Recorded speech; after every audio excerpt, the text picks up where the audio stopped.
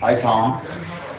This is me preparing your sticker because I feel you are a full-fledged member of the Ascension family, and as such, you should wear a full-fledged member badge. So come on out while we give you your badge.